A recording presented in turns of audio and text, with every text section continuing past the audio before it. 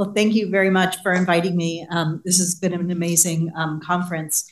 And I, I just wanted to, you know, my, my main disclosure is that I am a gastroenterologist and I run the cancer genetics clinical program. So when we're talking about cancers that are diagnosed in young individuals, and especially GI cancers, it's my it's my objective to talk to you about what we're doing in clinical practice now um, to try to take better care of, of these high risk patients.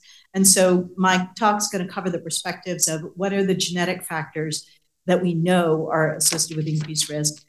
How does environmental exposure um, play into what we recommend? And what can we do in the realm of health behaviors to change things? So um, for risk stratification for colorectal cancer, when we talk about, you know, patient comes into your office and you stratify the risk for colorectal cancer, we rely very heavily on age, right? And all of us have seen the new guidelines that that 45 is the new 50. So the age of colorectal cancer screening for average risk individuals was decreased um, from 50 to 45. Um, we talk about personal history, whether an individual has a prior history of colorectal neoplasia, whether they have inflammatory bowel disease, and then we talk about family history, which typically most of my GI fellows just ask: Is there any is there any colon cancer in your family? Well, how good is this? So you all have seen this, um, this slide before, that when we look at um, colorectal cancer incidence among people over the age of 50, we're doing pretty well because you know what? Screening actually decrease screening for colorectal cancer with removing polyps actually decreases um, the incidence of colorectal cancer, and certainly early detection decreases mortality. Um, but what we're, we're seeing in young people is the opposite trend. So what we're doing right now is not good enough. Um, where did the 50 come from? Well, 50, there's nothing magic about age, right? Um, age is just a number. And I think when you look at um, what the data from SEER looked like in terms of distribution of colorectal cancer diagnosis by age, circa uh, 2000, um, you know, it seemed reasonable to draw the line at 50 because there were fewer diagnoses of colorectal cancer in people under the age of 50. Well, you've seen other curves now that this has now shifted. Um, and we're seeing a higher proportion among individuals um, under the age of 45, um, uh, uh, under the age of 50 than were before. So the, multi the U.S. Multi-Society Task Force in 2022 made the suggestion that average risk colorectal cancer screening begin at age 45. And they based this recommendation on observations of the increasing disease burden among young people they also looked and saw that when they looked at the incidence of colorectal neoplasms, so, so advanced colorectal polyps and cancer in people ages 45 to 49, they basically saw that this looks exactly like what it looked like between 50 and 55 year olds um, 10 years early, uh, you know, back in the 2000s. And certainly modeling studies demonstrated that the benefits of, screen, of, of, of decreasing the age to start screening um, uh, uh, were uh, outweighed the potential harms and costs. So for young onset colorectal cancer, what does this look like? Well, this table is actually um, from our publication from our experience at University of Michigan, um, where we looked at 430 young individuals with colorectal cancer diagnosed under the age of 50. And as you've heard before, you know, half of this group is diagnosed under age 45. So moving the screening age of diagnosis from 50 to 45 solves part of the problem, but it doesn't solve the whole problem. Um, importantly, three quarters of these young individuals with colorectal cancer have no family history of colorectal cancer in a first degree relative. So, how are we going to find these folks? Um, because our current screening al- algorithms aren't, aren't working. So, um, in this same cohort, we I, because I run the cancer genetics clinical program, we were actually able to look at the outcomes of genetic testing in this population. And certainly, um, one out of every five young people with, um, with uh, colorectal cancer carries a germline alteration in a cancer susceptibility gene. What we find most commonly are uh, mismatch repair gene mutations associated with Lynch syndrome, which, as many of you know, has a lifetime risk of colorectal cancer of 50 to 70% in the absence of uh, frequent colonoscopies. Um, there were also individuals with polyposis syndromes here, and many, about one third of individuals with familial adenomatous polyposis have no family history of FAP because they represent new mutations in the family. Um, but interestingly, we also found um, individuals with other cancer susceptibility gene alterations, mainly BRCA1 and BRCA2, P53 associated with Li-Fraumeni syndrome, um, and as well as other moderate penetrance genes like CHEK2. So um, importantly, um, when we look at, you know, um, what does this mean? What was interesting is that half of these individuals who had mutations in cancer susceptibility genes uh, did not meet criteria for the particular syndrome that their uh, gene alteration corresponded to. So for this reason, and because um, our findings were, were corroborated by those of other groups, um, led to the recommendation that all individuals with colon cancer under the age of 50 um, undergo germline genetic testing for cancer susceptibility. So what does germline, what does cancer susceptibility uh, spectrum look like? Um, we developed this diagram because for many years in cancer genetics, you would talk about hereditary breast cancer and hereditary colorectal cancer. But the reality is that there's tremendous overlap in the mechanisms uh, for pathogenesis of many of these cancers. And so thinking about the particular syndrome often blinds you to what other cancer risks are there. And so here, certainly in the realm of colorectal cancer, which is in the blue, we see the Lynch syndrome mismatch repair genes are probably the biggest component, um, accompanied by um, other alteration, uh, other genes associated with polyposis syndromes.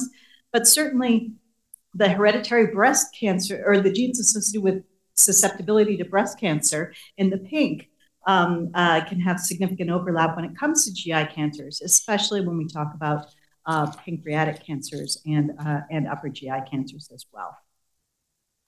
So assessing risk for colorectal cancer. So we've got two, two, two families here. So we've got the person on the right, or sorry, on your left, um, who has a 24-year-old whose mother uh, died of colorectal cancer at 53 and whose grandmother uh, died of ovarian cancer at 42. And then we've got the 24-year-old on your right um, that has three individuals in the family with colorectal cancer with one individual diagnosed under the age of 50. So, how good are we at picking up these folks, and what should we be doing differently um, uh, for these 24 year olds, right? I can't tell you how many patients I've seen who present with family histories like this to their doctor, to their primary care doctor. Their primary care doctor says, Oh, don't worry, you don't need to do anything for cancer screening. There's nothing you need to worry about yet because you're too young. But the reality is that both of these individuals actually meet criteria for germline genetic testing. And we've got to do a better job of finding these folks, right? So, you know, what's important here is that both of these individuals, if they have a pathogenic germline variant associated with Lynch syndrome, actually need to start doing their colonoscopies now um, and uh, potentially repeating colonoscopies every one to two years. Um, whereas if they are found not to, if their genetic testing is um, negative for Lynch syndrome, it would be reasonable for them to begin their colonoscopy at age 40 um, and repeat it every three to five years. So in terms of our, our, our, our, our risk assessment in clinical practice um, uh, could be improved. Um, so let's talk about cancer, risk for GI cancers in individuals that have Lynch syndrome and hereditary breast ovarian cancer, because I neglected to point out on the previous slide that the these hereditary cancer syndromes are not as rare as people thought they were. The population prevalence of Lynch syndrome is 1 in 279. The population prevalence of, of BRCA alterations is about 1 in 300, um, and actually 1 in 40 in individuals of Ashkenazi Jewish ancestry. So when we look at the cancers that are that the cancer risks that are increased in these conditions, we see our GI cancers for which there is screening available. We see colorectal cancer, we see pancreatic cancer, and we see gastric cancer. And certainly, I think there's a growing consensus um, in the cancer screening world uh, that if an individual's lifetime risk for cancer is 5% or greater, maybe it's worth actually screening because the average person's risk for colorectal cancer, lifetime risk for colorectal cancer is about 5%. So if we can identify people whose risk for other cancer types is 5% or higher, it's probably worth screening. So I mentioned pancreas cancer. Um, so what do we do for screening for pancreas cancer? Well, many of you may um, remember that the US Preventive Services back in 2019 actually issued a grade D recommendation recommending against screening for pancreatic cancer in asymptomatic individuals, stating that, the, that there's adequate, adequate evidence the benefits are no greater um, than small, or, or, at, or at, while the harms are at least mod, moderate in terms of uh, of uh, harms of screening. So the conclusion was that the potential harms outweighed the benefits. But um, when this uh, when was this was posted for com- for public comment, um, the um, several several people in the field actually spoke up and said, you know, maybe no pancreatic cancer screening for average risk individuals because their lifetime risk for pancreatic cancer is about 1.7%. But there are plenty of individuals whose risk for pancreatic cancer is probably high is higher than 5%. And so the US Preventive Services Task Force actually relented and um, added the caveat that their grade D recommendation for screening did not apply to individuals at above average risk. And this is really important because um, we now have some really interesting data that um, pancreas that screening for pancreatic cancer in the group of individuals who are considered at higher than average risk for pancreatic cancer, and the, these mean pancreatic cancer risks over the course of the lifetime of 5% or greater. Um, when the data from the CAPS uh, studies actually looked at looked at a you know diagnoses of incident pancreatic cancers in individuals under screening as well as survival of individuals with screen detected pancreatic cancers. They demonstrated that pretty dramatically as you look at the um, in the top curve. Individuals who had screen detected uh, screen detected pancreatic cancers had significantly better survival um, and were more likely to have cancers detected at resectable stages.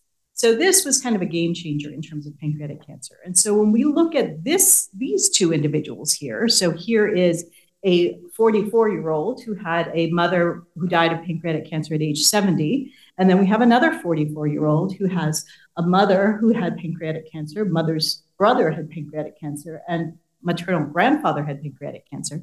There's actually something pretty definite that we're going to recommend for these two 40, 40 year olds, right? So, what is the how do how do we assess risk for pancreatic lifetime risk for pancreatic cancer?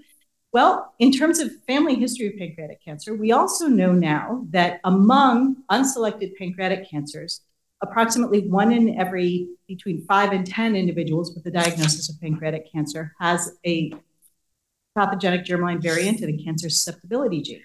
So look at that list of genes here, and we see a lot of the usual suspects. We see the BRCA genes, we see the Lynch the genes associated with Lynch syndrome, as well as moderate penetrance risk genes like ATM and CHEK2, as well as CDKN2A, which many of you will recognize as one of the primary drivers of pancreatic cancer. So, um, based on the findings that germline alterations are quite common in unselected individuals with pancreatic cancer diagnoses, I was, I was really um, honored to be part of an ASCO uh, clinical provisional opinion um, that recommended um, uh, germline genetic testing for all pancreatic cancers. So, should we screen these individuals for pancreatic cancer? So, what does individual how how do we get to that threshold of five percent? Um, well, in the family on the right, where there's three individuals with pancreatic cancer diagnoses, um, that that exceeds the five percent lifetime risk threshold. For the individual on the left who has just one individual with pancreatic cancer or one individual in the family with pancreatic cancer, genetic testing would be really helpful because we know that if we find a pathogenic germline variant in, say, BRCA or Lynch syndrome, then that puts that individual over that 5% threshold. Whereas if there is no pathogenic germline variant and only one individual with pancreatic cancer in the family, that lifetime pancreatic risk uh, barely exceeds 3% and is not over that 5% threshold. So I want to show you actually a real story of a 39 year old who presented to their um, primary care doctor um, for a health maintenance exam. And he reported that his doc- uh, that his sister had been diagnosed with breast cancer and was and also happened to have a history of having had two primary melanomas. And so, because of the diagnosis of breast cancer, she was referred for genetic testing. And her genetic testing revealed that she had a um, CDKN2A pathogenic germline variant. Now, what's really interesting about this family history, right, is the fact that his dad had pancreatic cancer. But that didn't trigger any bells or whistles for anyone. But now his sister has um, mutation CDKN2A that's associated with familial multiple mole melanoma and um, a lifetime pancreatic cancer risk of 16 to 20%. So we tested him and he carried a pathogenic, the same pathogenic germline variant in CDKN2A. We did an MRCP uh, for pancreatic cancer screening and identified a one centimeter mass in the head of his pancreas that was a stage one pancreatic ductal adenocarcinoma, and this was resected and cured. So we're talking about how do we improve outcomes in young onset gastrointestinal cancers. And this is how we do it. We actually find these cancers early in time to be able to intervene before they become advanced. So, um, as part of a review that we wrote for gastroenterology, we actually proposed a strategy for pancreatic cancer risk assessment in that if you screen, if you do germline genetic testing on every pancreas cancer patient, um, and then do a risk assessment for everyone in the general population regarding family history of pancreatic cancer or family history of cancer that could have an increased risk for pancreatic cancer. Then you can identify a cohort of, uh, you can identify individuals who meet that 5% threshold and actually um, intervene with uh, pancreatic cancer screening with endoscopic ultrasound, alternating with MRCP, and certainly intervening early on some of these um, on some of these early lesions. So what about gastric cancer? So we've spent a lot of the day today talking about colorectal cancer, a little bit of talking about pancreatic cancer, but what about gastric cancer? So, you know, for families that look like this, where somebody comes in and says, oh, everybody in my family has gastric cancer, that sets off bells and whistles for a lot of us. And we say, oh, well, let's do something about it. Could there be a genetic susceptibility, or, or we should probably do an upper endoscopy to see if you have H. pylori or something else that is treatable that can change the natural history of the, of the, of the gastrointestinal metaplasia. But what about people who look like this? So, what if there is a 44 year old who comes to your clinic and says, My mother died of stomach cancer? There aren't really any good recommendations right now for who we should screen for stomach cancer, or at least in the GI community, um, uh, we're trying to raise awareness here that, that gastric cancer is becoming a bigger problem in the United States. Um, because certainly we know that the risk for gastric cancer is not the same for everyone. And the risk of gastric cancer all over the world varies tremendously. Um, as you see in Asia and in countries in Latin America, the risk for gastric cancer in many countries exceed uh, the risk for colorectal cancer. And certainly with um, individuals who have who who emigrated from these areas uh, to the United States, um, being aware of gastric cancer risk is incredibly important. So I'd like to propose that you know the, the blue line across the top is what we currently do um, in risk stratification for gastrointestinal cancers. So age, personal history, family history.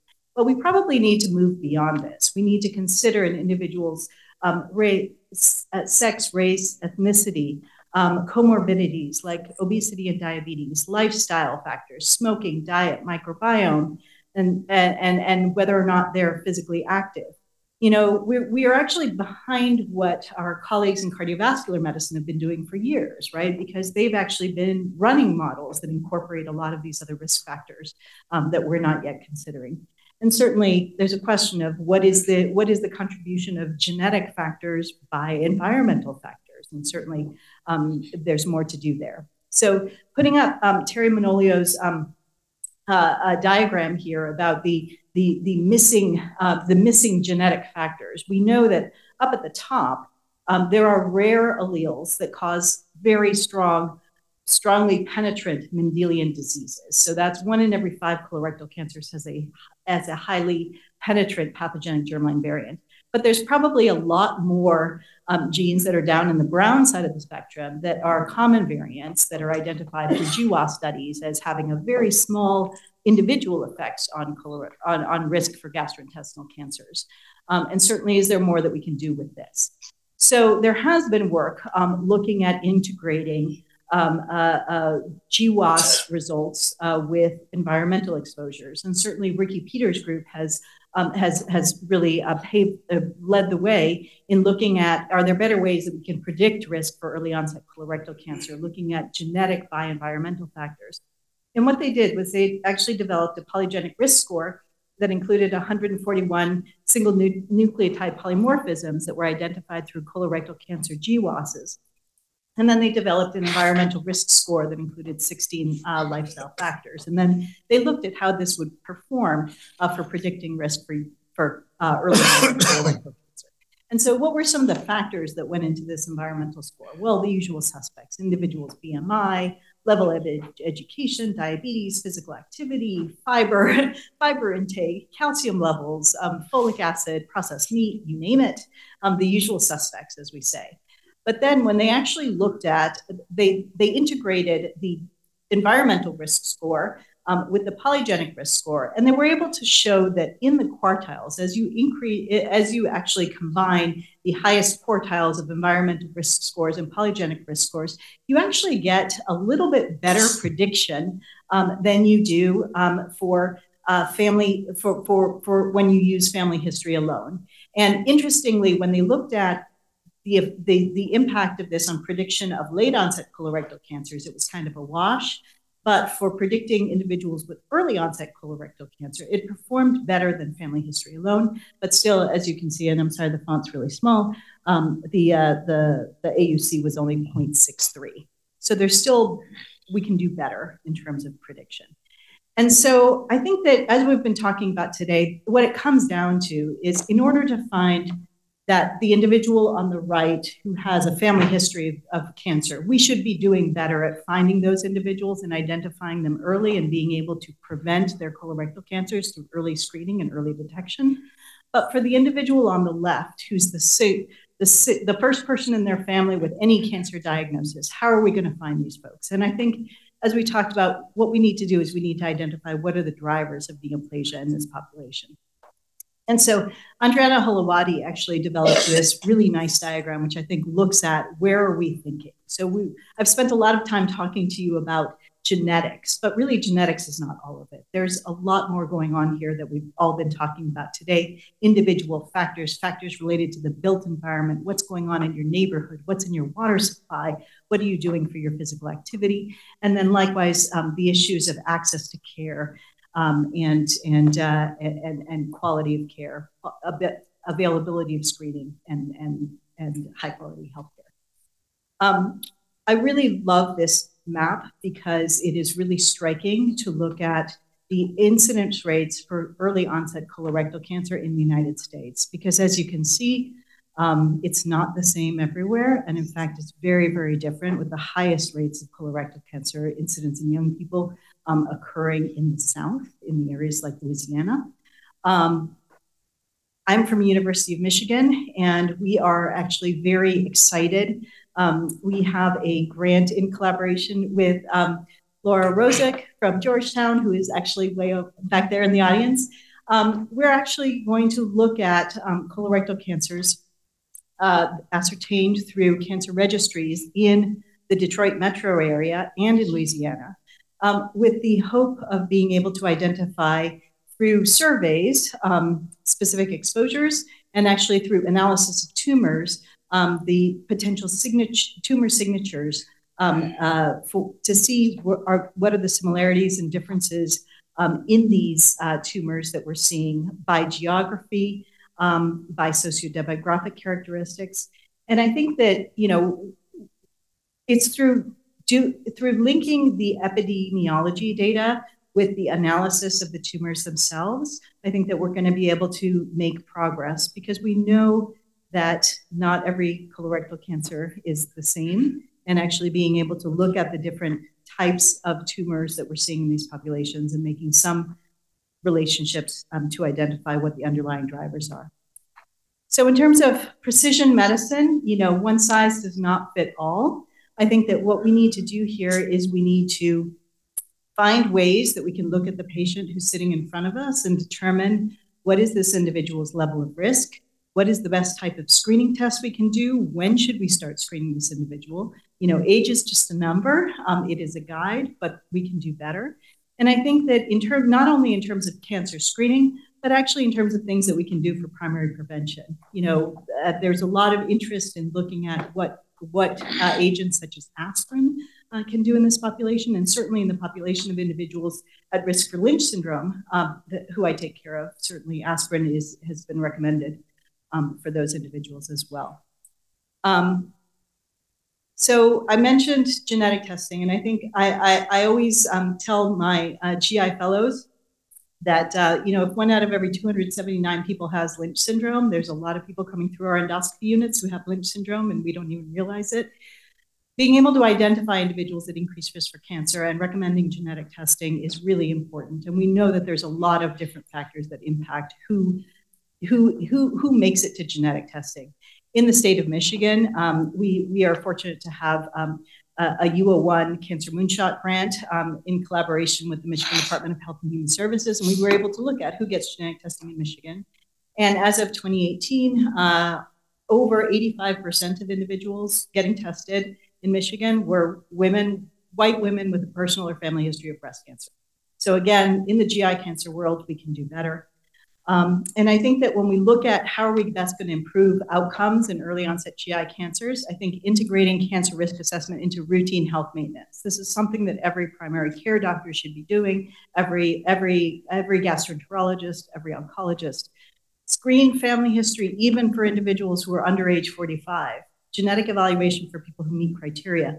Risk stratification includes more than age and family history and certainly reducing the disparities in, in healthcare delivery, increasing uptake of cancer screening, and expanding access to high quality care. Because, you know, mentioning those red flag symptoms, most individuals with early onset colorectal cancer have had some symptoms for either months or years before their diagnosis. And so being alert and acting on those immediately is important. And then finally, identifying mechanisms for pathogenesis um, through epidemiological studies going from bench to the bedside, modifying risk factors, and targeting therapies for cancer treatment and prevention.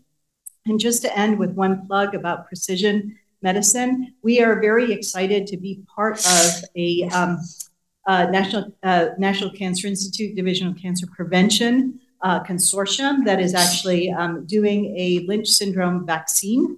Um, uh, testing a vaccine for Lynch syndrome or to prevent colorectal neoplasia in patients with Lynch syndrome. And this was a vaccine that was developed actually many years ago for, for, um, um, for patients with colorectal cancer and sat on the shelf for many years. But um, I think that as we identify individuals in different risk groups, being able to develop interventions uh, for these folks will be most important. So on that note, I want to thank you all so much for your attention and uh, thank you again.